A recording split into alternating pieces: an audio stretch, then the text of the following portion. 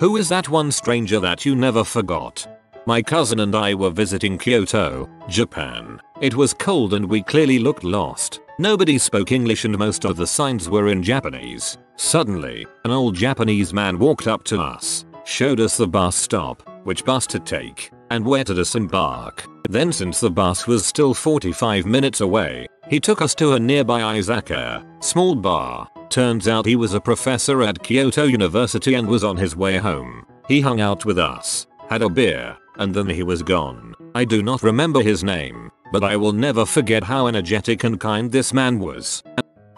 Well I guess I forgot about him in one way. I was in a motorcycle accident where a car swerved head on at me, and I took a major blow to the head.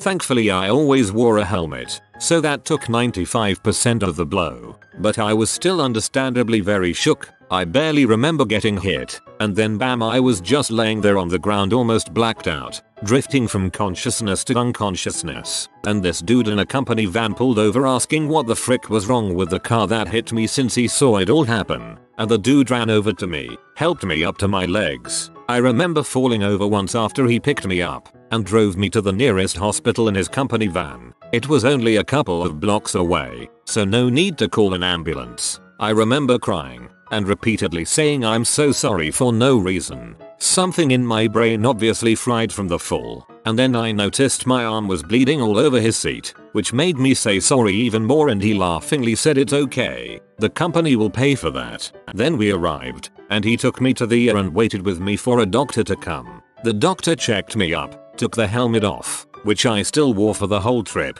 which is very important until a doctor can make sure it's fine to take it off, and made sure I wasn't seriously hurt. Meanwhile the dude that helped me is still sitting in the waiting room for me. I took a couple of rays because my arm hurt a lot, but it was just a hairline crack in my bone, so nothing major. But this still took like an hour to get the pictures developed, etc. After that I was free to go, and I saw the dude still sitting there, waiting for me, and not just that. Turns out directly after he left me with the doctors, he drove to the accident scene and took photos of everything for insurance purposes, and also called the police. He also propped up my motorbike against a nearby wall to protect it for more damage. And then he went back to the air, waited for me, and then texted all pictures and information to me. And he also said he'd witness in case the woman that hit me tried to pull something legal against me. And then he drove me home and helped me into my bed. The dude literally took like 3 hours of his own time when he was supposed to be working, and helped me with everything instead, and I never even got his name. Big ramble, I know, I've just never talked about this before. My memory was so hazy from the concussion, but it all came back when I started writing this. The apologizing and laughing and stuff post accident is shock. Cincinnati, Ohio, 2005. Just turned 18 a couple days before when my mom told me that because I'm an adult now that I can't live in military family housing with them anymore and I had to move. Which was a lie. Made the very poor decision to take a Greyhound bus from North Carolina to Iowa and after a couple of delays making this a 3 day trip, I finally arrive at Cincinnati with my next destination being a small town in eastern Iowa. I get to the bus terminal and the woman says oh, you missed it. The next bus going there doesn't leave until tomorrow night. It's about 9 in the morning, meaning I was going to have to stay there for more than 24 hours in the terminal and I had no money and the last time the bus driver stopped off somewhere in Tennessee to let people buy food and stuff, I was too scared to get off the bus to get food from the trash, so I hadn't ate for days. Totally defeated. I just say oh, okay and she says you aren't mad and I say no, it's not anyone's fault so she dashes out towards the buses and finds a driver about to leave to Davenport, Iowa, about 30 minutes from where I was going. This bus was a lot nicer than what I had been on for the past couple of days so I must have received some kind of upgrade. She saved me from being really hungry for an extra 2 days. I'm glad the girl was nice to you but I would like to punch your mom. I was about 17, and my buddy and I were driving to meet up with some friends. He was going way too fast, lost control, and after some crazy swerving around we popped the curb and hit a tree sideways in midair. The car was demolished, engine caught fire, him and I were both dazed. I came to with this middle-aged black guy pulling me out of the wreck and telling me my friend is fine. I never got his name, but he pulled me from a burning car and I'll never forget him. Back in the 90s, my school went for a trip to India and we ate at this one small restaurant in Kovalam Beach, Kerala with a group of about 20 people. The waiters were kind enough to move two tables onto the beach for us, so we could eat with our feet in the sand. 10 years later, I visited Kovalam Beach by myself and ate there again. Suddenly this waiter say, weren't you here 10 years ago, with a school or something? Dumbfounded I answered yes. He grinned and said I remember. We put the tables on the beach for you guys, didn't we? After 10 freaking years. I was waiting at a bus stop one day when a guy, maybe 50, bald, muscular, honestly a little intimidating, walked straight up to me and asked, how old are you? Comma 25, right answer, and just walked away. I have no clue what he wanted but I'm at least 27% sure that if I had lied, he would have killed me, and he knew the answer. That guy was you from the future and he hates how much of a little wimpy liar he used to be and was going to end it all that day. Good job not fricking it up. The gangster dude at the gas station who was walking up to the door with his friend and stopped to tell him, hold up, I gotta hold the door for this B as he held the door for me. Classic. Similarly the guys who were smoking by my car as I was leaving work late one night. I was the last to leave and I froze by the door seeing them gathered around my car. One guy looks up and yells, get the frick away from this lady's car, we're freaking her out and they all dispersed. I was 18 and on vacation in Ireland, was sitting at a pub when an older gent next to me started up a conversation. We're talking and all of a sudden he drops this gem, comma you know, the missus and I haven't been intimate in about 2 years now. God bless her soul though, she's been dead for 4. And then he cackled and wandered off, leaving me to sit there like what the frick. The guy who tried to pickpocket me in the busy market by grabbing my dong instead of my wallet. Trying to grab the real valuables. So back when I was in 5th grade, I was riding my bike in my neighborhood when I came across this toy company. I Although it was a toy store so I walked nonchalantly into it, thinking very little. Anyway a man who I think was the manager welcomed me and asked me why I was there. I wasn't very sure so he went ahead and gave me a tour and walk through the company. He was a gentleman and even gave me a toy. Can't remember what, when I left the building. A guy I met in the smoking area of Fabric, a huge club in London, at about 4am in May 2012. At the end of the conversation he said you know what's funny? We just chatted about our lives for an hour and don't even know each other's names. And that's why none of us will ever forget this moment. Club smoking areas are the most social areas on the planet. Specifically clubs, like Fabric, that cater for DNB fans. The guy that approached me, the kid in hand-me-down clothes, with spray on blue hair, at a church gathering and told me you'll do something great, and then left. No one knew who he was, or where he came from. From time to time I'll look at my life and wonder if I've done it yet, or if I'm disappointing that stranger. When I was out jogging as an overweight person, I went past a young mom out walking with her baby stroller, after jogging myself near the brink of collapsing, because frankly I didn't know how to exercise in moderation. I was slowly dragging myself home. I passed the same mom sitting on a bench on my route home, and she simply told me, nice work. I'm still not physically fit to this day, but such simple words of encouragement from a stranger still warms my heart. I always want to say stuff like this, but I'm too awkward and would come off as rude. Not even just overweight people, but anytime I see someone running or riding their bike I think frick yeah, this grandmother I had a conversation with on a Six Flags ride. Her grandkids went before her and left her behind, so she hopped in the cart with me and my friend. Those little shoots.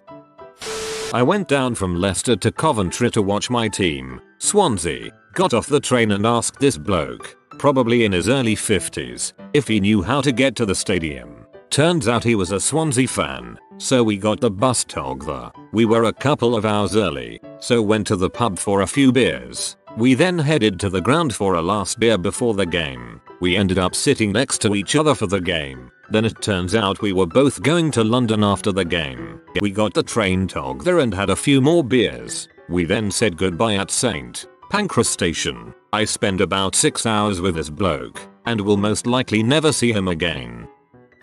The cowboy who was in the ER, in full rodeo get up, going from hand sanitizer station to hand sanitizer station filling up on sterile goo and sniffing his hands. He's going to end up in one of my books. This could be a movie, with Owen Wilson playing the character. When I was like 8 or 7, we went to a truck stop and I was waiting in line at the restroom. A stall opens up and I'm the only one in line until a guy goes up to the stall as the person there before is leaving. Before the man goes into the stall the first guy points at me and says hey man he was waiting first. The guy stopped and let me go then. Never gonna forget that legend. A guy named Jason sat with me after I got hit by a car. He waited when no one else did, made sure I didn't die by the side of the road, and got help. I owe that guy my life. My sister did that for someone about 6 months ago. They then made a post on Instagram about it thanking the random blonde stranger for helping them and someone linked the two events together and told them who she was and they occasionally go out for coffee and catch up. A couple friends and I went to the beach got a hotel room and then things got kinda crappy people started arguing about little things about the trip effectively just making the whole mood of this mini vacation go to crap. So I wake up first go get breakfast and decide I'm gonna enjoy my time so I go down to the beach and just start collecting seashells. That's when I saw her she was walking back and forth reading a book she had these cut off jeans and this bright green t-shirt and had the fullest, brightest and long red hair. She had kind of a sad look to her face though and it was just me and her standing in this cove of the beach. So I decided to go up to her and ask if she was okay. When I talked to her, her face lit up and her smile, it simple just took my breath away she told me she was okay just deep in thought and gets that kinda look on her face. We laughed chatted for a bit being the awkward 18 year old I was I said I'd get back to collecting my seashells and let her enjoy her day. About 5 minutes later she came up to me with a seashell and said this one's pretty I think you should have you, and there was that melting smile again. We walked on for a bit talking and then went our separate ways. If there was ever a story about the one that got away it was probably her. I don't even think we told each other our names just kinda collected seashells and made small talk. But I'll never forget the way she made me feel.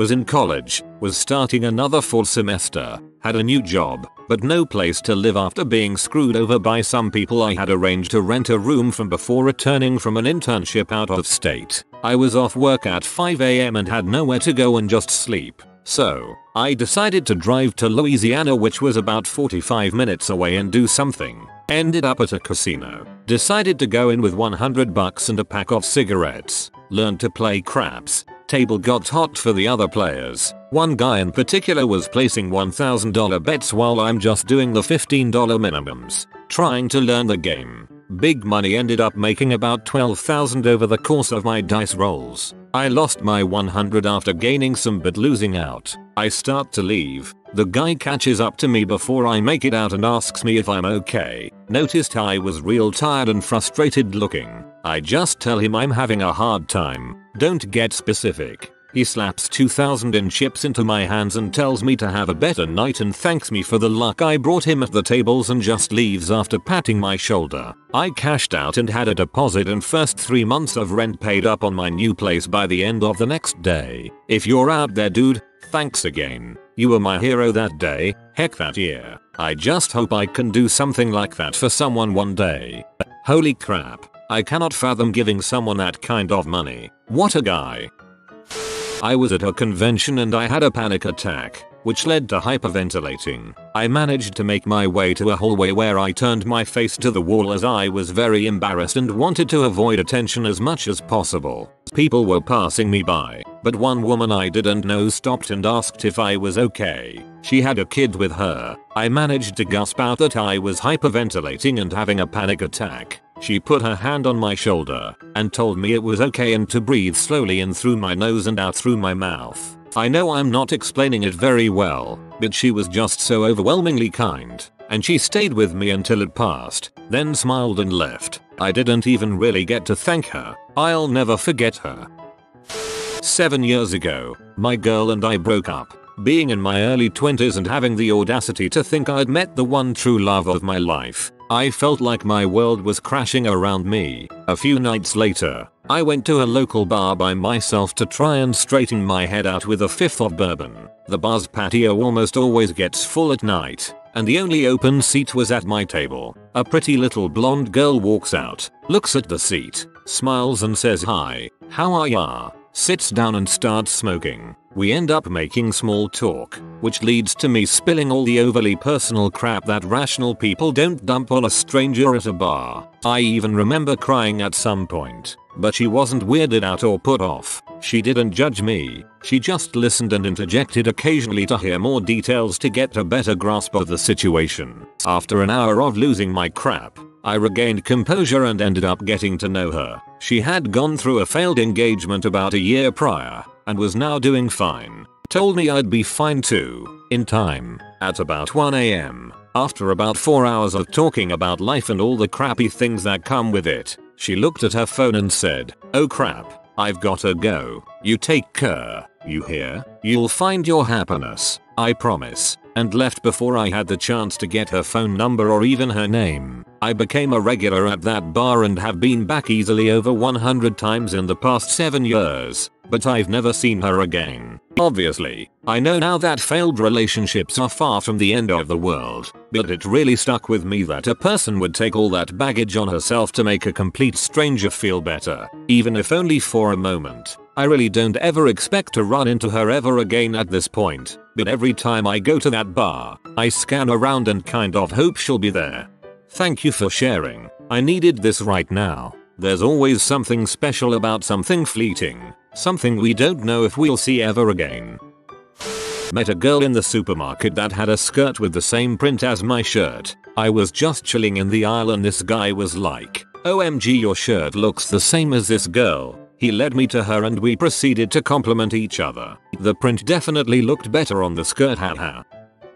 I was doing a PT for highway patrol. Some old guy who was waiting for a buddy to get to the finish line saw me struggling. I was sick the whole week before and didn't know I was having withdrawals from prednisone. I wasn't tapered off. I was in bad shape but refused to stop. As I ugly ran by him, he hopped the fence and started jogging next to me. He was saying, Come on, let's do this. You can do this. Just keep up with me. You're almost there that gave me a lump the last 40 yards and I somehow got the energy to sprint to the finish. It was like a dad teaching his daughter to ride a bike. Once he saw me go, he backed off and let me finish. I was 10 seconds over and couldn't move on to the hiring process for this recruitment. I wanted to thank him for helping me but he was already gone.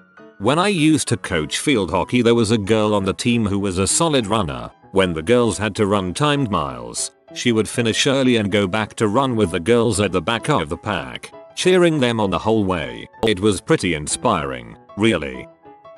I've told this story before, comma when I was 15, I was riding the train in SLC. It was a normal day, normal people riding the train, some professional, some clearly homeless. It was morning. Suddenly a drunk homeless man collapsed, comma he just laid there, confused, but couldn't get up. And while he lay there we just stared. A train car full of uncaring observers, I didn't even think to help. Someone did. A professional looking man kneeled down and helped the man into his seat, and looked around casually, and I know it's not how he intended. But I felt and still feel like his eyes stopped at me, comma it was probably nothing, but I've never been more ashamed in my life than when that man scanned the crowd, and I was just an onlooker. Five years later I see that face when I stop on my way to work to help shovel snow, or hold the door open for someone. Any little thing I can do to not be a casual onlooker. Comma I've had a lot happen in my life, but that one look has changed me forever. He broke the bystander effect in more ways than he'll ever know. I was sitting on a low wall in downtown Toronto reading a book with my backpack on the ground in front of me. A man walks by and trips over my bag, kicking it forward a foot or so. He gathers himself, turns to me, and immediately starts apologizing for kicking my bag. At the same time, I apologize for leaving it somewhere it could be tripped over. We both say sorry three or four times each pause, and laugh. He goes on his way. I keep reading my book, and I never forget the great Canadian sorry fight. A few years back I was taking the bus back to my house and an elderly man asked me if I knew where the vet on X street was. I said I wasn't sure where the vet was but the street was close to my place so I could help him find it. When we got to my stop I told him to get off the bus as well and when I was about to pay the driver he said he was going to pay for both of us. But I immediately said, thanks, but you don't have to pay for me, I have money. He just looked at me with a straight face and said, of course you have money, otherwise what would you be doing in the bus? I'll never forget the feeling of getting owned by an elderly man on the bus. Side note, after we got off the bus, I helped him find the vet and he said he was doing the path he was going to do tomorrow with his nephew grandson and dog, because he didn't want to get lost. That's a good grandpa. At a restaurant with my friend and this little girl, 8 or 9 years old, walks up to my roommate, front to front with about 2 inches between, puts her hands in each the front pockets on the roomie's hoodie and makes 10 seconds of eye contact, then walks over to directly in front of me, reaches up and zips my hoodie down while maintaining eye contact, then goes and stands behind an elderly lady that was still eating and leans into the back of her hair for a couple seconds. Then the older guy that has been up at the counter paying for the last minute or so says okay hot dog, let's go and she whips around and leaves with the guy. We still joke about hot dog. Me and my buddies had just finished seeing a concert and bar hopping in the city. We decide to hit up a $1 slice pizza place before we call it a night. We're all in this pizza place and a girl walks in and my one buddy goes up to her and says happy birthday. I thought my buddy knew her, but he didn't. My buddies start walking out and I stay back and the girl told me it was actually her birthday. I even asked her to show me her license and it was in fact her birthday.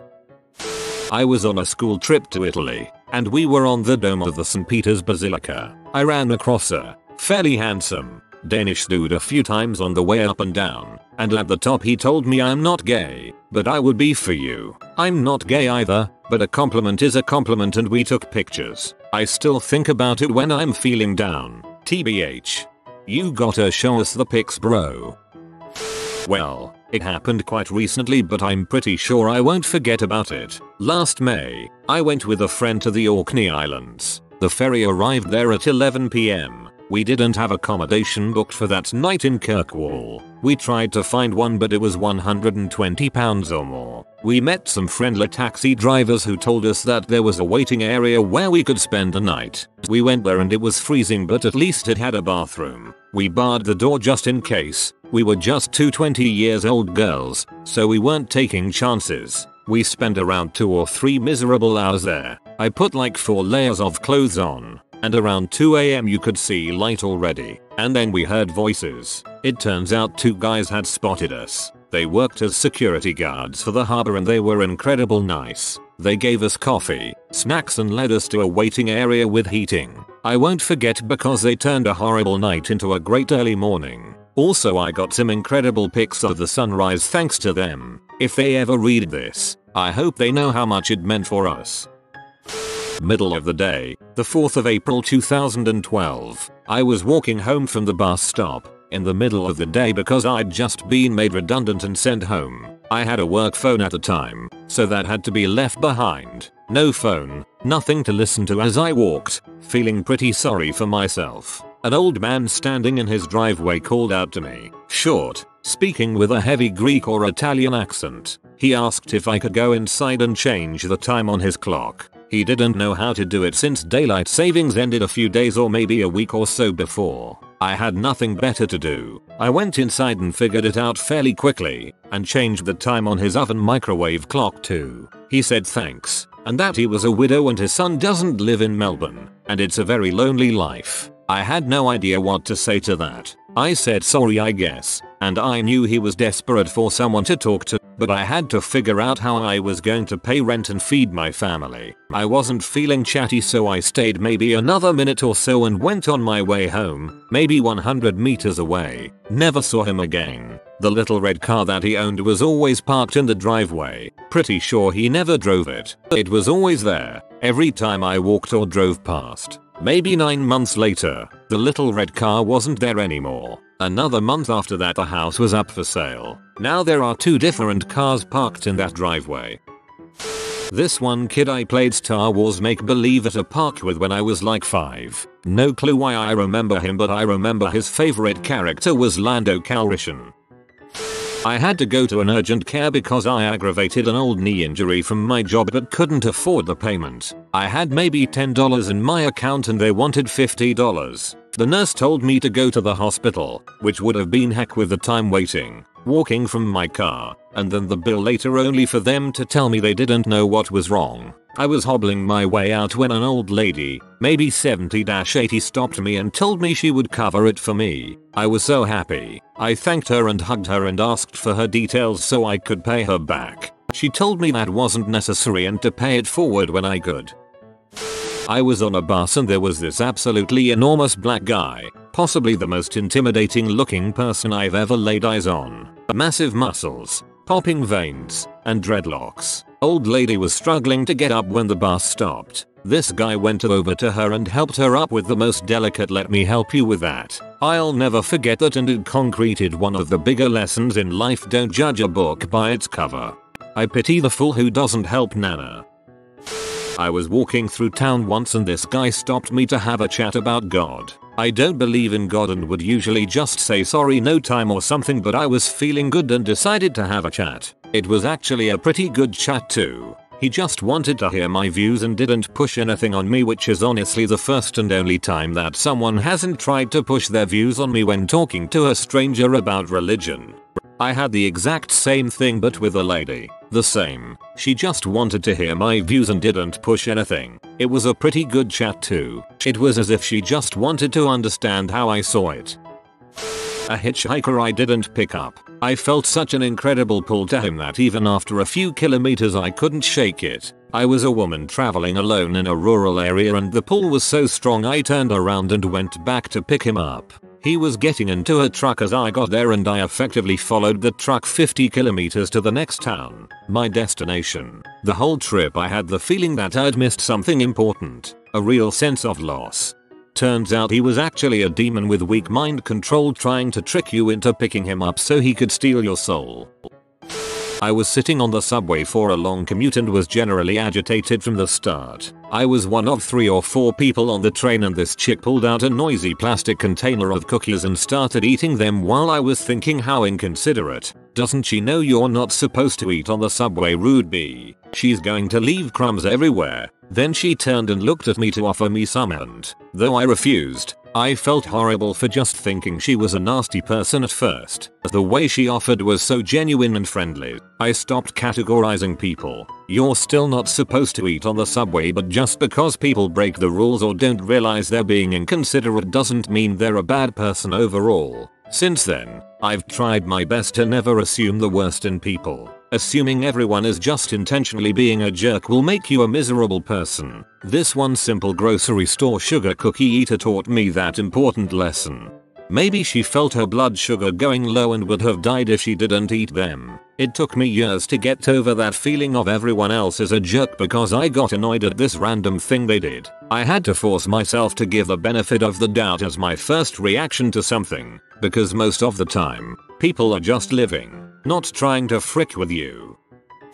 A woman outside the grocery store looking distressed and hopeless. I was only there to pick up one thing I needed for a recipe, a sauce or seasoning or something. It's been a while. She was standing outside groceries in hand desperately trying to ask people for help. I'm a naturally paranoid person, and when she came up to me that paranoia immediately struck. Initially I was going to just make an excuse to get myself out of social interaction but for some reason I stopped and listened to what she was asking. She was desperately trying to borrow someone's phone to call her sister who was supposed to be there to pick her up as she didn't have a car. Understandably being alone outside a grocery store in the middle of nowhere with arms loaded with food that will spoil soon can be a bit of a modern day horror story. When she asked me if she could borrow my phone I was, again, Paranoid as all heck but I pushed that down and ended up calling her sister for her, just to confirm it was a real number and let her leave a message. Even though her sister didn't pick up the look of relief on her face was wonderful. She thanked me and I went into the store to get my chipotle mayo or whatever the heck I was there for that day and by the time I left the store she was gone. Probably never going to forget her, simply because I know how it feels to be in that situation where things aren't going as they should and everything just seems like it's catastrophically crashing down around you. This might get buried in this post but the one I'll always remember is this tiny old Scottish lady. One night, I live in the south end of Scotland but my family is English I get a phone call telling me to get back now cause my mum could die any second. I rush to the station and jump on the first train, bawling my eyes out. Everyone does me the courtesy of politely pretending that I am not openly sobbing. Besides this one tiny old lady who plonks down right next to me, hands me a bag of Maltesers aka little chocolates, and goes what's up chick and I just break down crying on this random old woman's shoulder while she pulls more and more chocolate out of some magical part of her coat and by the time we get to her stop she gives me a hug and goes ah, it all works out in the end. Even if it feels like it's going to crap at first and wandered off.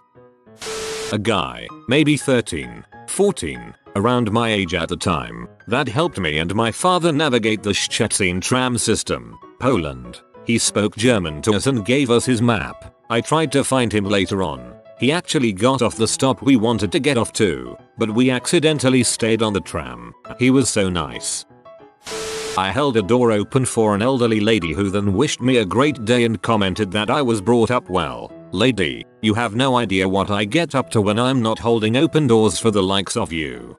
When I was 14 or so, I held the door open for an elderly couple. Instead of thanking or acknowledging me, they just said to each other OHH there's still a few left back and forth a few times. Little did they know I was high as frick. That eyeball peeking through the bathroom stall at me while I was taking a dump. That was one creepy freaking eyeball man. I'll never take a dump in a public restroom ever again. After visiting the Louvre about 10 years ago, mum and I were taking the metro back toward our hotel. A man got on holding a little boy that looked like he escaped from one of the Renaissance paintings. He had beautiful golden curls and big blue eyes. He looked like a doll, not real. Hope that adorable kiddo is doing well. Thanks for that beautiful story, old French whore. I was in Portland, Oregon to visit my dad for Thanksgiving and was walking down the street with him. This lady sneaks up on me and pats my head saying there are women who would kill for that hair, I'm a dude, and then she just walks off. I was in Seoul, South Korea working on an assignment and didn't know the language. It was a year of unprecedented floods and during one of the worst ones, I stupidly decided to still get to the subway and get to work. Water was up to my waist. Picture a guy wading in water while holding up an umbrella to protect his face for some reason. And at some point I cut my hand on something in the water. By the time I reached the subway, I was bleeding all over a wet handkerchief I had. A girl sat next to me and started pointing at my hand, saying what must have been concerned things in Korean. I was replying in English yeah I'm an idiot. She opens up her bag, takes out band-aids and fixes up my hand. It was the nicest thing a stranger has ever done for me and I'll never forget it. You have been visited by the romantic doggo. Comment love is magic so you never fall in the friend zone. If you are new to the channel, you can subscribe. I publish new videos every day. Until then, check another video, or don't. Either way, have a great day you magnificent people.